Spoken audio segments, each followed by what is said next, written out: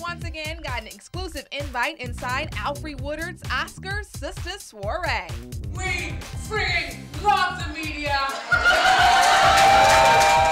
The annual event held at the Beverly Wilshire Hotel was sponsored by online retailer Farfetch, and the ladies, including Tracee Ellis Ross, Rashida Jones, Tessa Thompson, and Kim Wayans, definitely showed up in style. Look at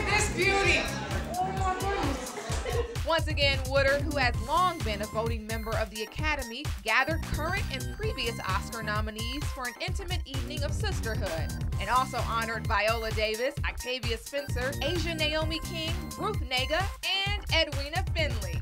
We got business to attend to. Yes! Our cameras weren't allowed to stay, but before we left, we did catch the ladies taking their annual group photo.